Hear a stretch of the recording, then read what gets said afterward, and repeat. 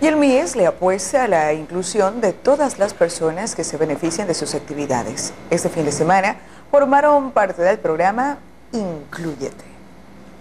El baile es uno de los espacios del programa Incluyete, que el Ministerio de Inclusión Económica y Social lanzó como un plan piloto hace dos años para realizarlo a nivel nacional. Hemos estado junio, julio, agosto, septiembre hasta octubre. Entonces, en base a los resultados que de este piloto se va a establecer a nivel nacional. Al momento este proyecto es efectuado en Azuay y Santo Domingo. Para sacar conclusiones realizan una encuesta después de cada programa en las que existen cinco eventos y verifican si todos participan de las actividades.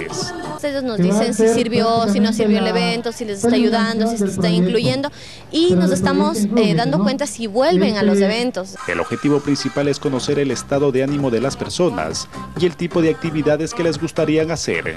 Nos divertimos, nos estresamos, nos olvidamos de todo, de todos los trabajos, los quehaceres que tenemos que hacer.